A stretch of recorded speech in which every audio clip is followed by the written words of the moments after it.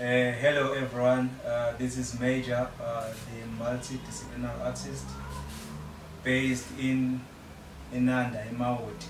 So this is uh, my studio called Esigodlweni Lokshin Studio. The reason why I called Esigodlweni is because uh, uh, I, I, I believe I am with my ancestors here. So because I'm a very spiritual person